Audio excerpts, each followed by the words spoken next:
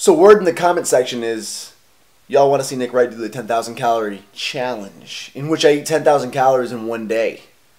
Max Tuning just did it recently. Before him, Twin Muscle Workout did it. Before them, Furious Pete did it.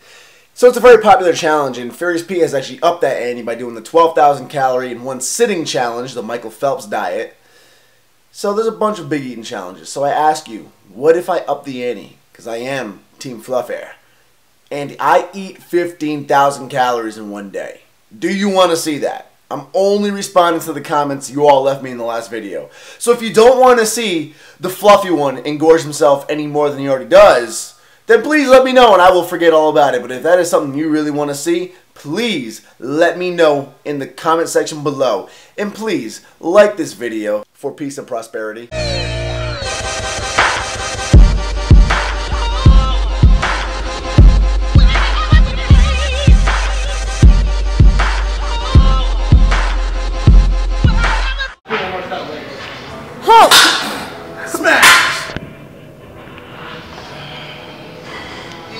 Yep, yep, yep.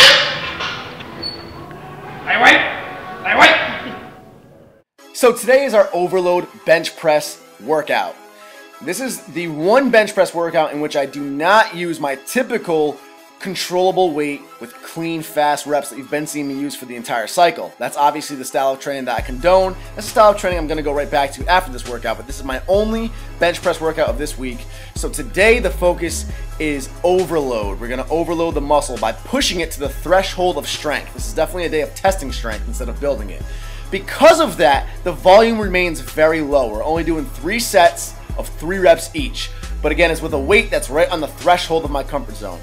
You're gonna see my hamstring cramp right there. There it is, hamstring cramp. uh, that was a little bit funny. But you're gonna notice that this third and final set here is actually my cleanest set, and that's because I got my breathing down pat. I discovered that inhaling and then holding my breath before lowering the bar is the best way to go for optimal power for me. So we did three sets, three reps with a very heavy weight just to simply overload the muscle. And it was actually a personal feat for myself. My previous best had been 315 for four reps but for only one set. So having completed all three sets of three reps with 315 was actually quite a feat. Next on the agenda was three sets of eight reps with bent over barbell rows. Again, one of my favorite back exercises. Even back when I was bodybuilding, this is what really helped build my lats up on stage. And it's a great exercise to help build up just your entire posture in general upon powerlifting. So normally I move on to floor presses, Unfortunately today the power rack in which I do floor presses was taken for the entire duration of my workout so I had to cancel them out and improvise. So I threw in overhead pressing where they should be. And fortunately in the last overhead press max out video you saw me upload on Monday, I went ahead and tested my one rep max in the overhead press, finding out it was actually 205. I was able to recalculate more accurately what 80% of my max really is. 165 pounds, 10 pounds heavier than I had thought it was, so I did 165 pounds for two sets, six reps each. Close grip bench press time. Like I've said in the past, this is the king of king, the lord of lords of all tricep exercises. Yes, dips are probably just as effective, but they can be more risky on your joints, specifically your shoulders. So in my opinion, the close grip bench press is both the safest and the most effective tricep workout there is. And it is amazing for not only building big triceps, so it was something I was using for the sake of bodybuilding back when I was competitive in natural bodybuilding, but it's also amazing for boosting your strength up. A, power, a powerlifter recommended it to me back when I was trying to build my bench press up, and it worked wonders. Now, Jonnie Candito has an amazing program, but like every single program, there's going to be some pros and cons.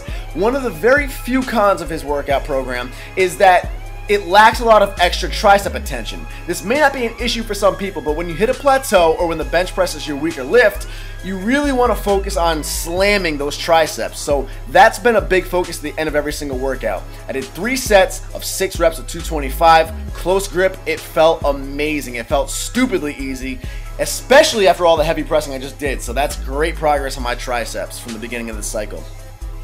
Post workout Chipotle. Ariana's bringing out the computer to hook it up to the speakers because my HDMI cable to hook it up to the TV is currently broken. So we watch Revenge on Netflix and eat our post-workout Chipotle. As you can see, Our Tuesday ritual has not changed in the least over the past year. Yeah! Post workout. I've officially kicked the wrap. Just I'm trying to conserve my calories. I'm a little bit fluffy. I was on a cut, got a little fluffer. So, we're backing off on the calorie intake, so I cut out the wrap. I know I still got the cream cheese in there, but that's because I have no tolerance for spiciness. Yeah, sour cream, not cream cheese. It's because I have no tolerance for spiciness, and that steak is too spicy for me. Again, if you saw the video Tuesday, featuring me and Ariana Reardon, uh, you know this. So we have Chipotle. Ariana's heating hers up in the microwave right now. We have Revenge over here on Netflix. Awesome show. We're in the middle of season two. We got the ghetto speakers hooked up. I mean, the speakers themselves aren't ghetto. They're kind of nice, but it's a ghetto setup compared to that nice ass TV I have over there, sitting there useless because my HDMI cable's broken. So I'll get a new one when we move into the new house, but I'm not gonna waste my time right now. This works just fine, believe it or not. Post workout ritual, and we got the AC kicking in over there. That's how you do it, ladies and gentlemen. That's how you do it. Hashtag Red Chucks. Please like this video. It means the world to me. If you watch me, you like the videos, just simply please click that little like button. Because I know if you're like me, a lot of you probably watch videos, you're into them, you might leave a comment. You don't really think about liking it, doesn't cross your mind.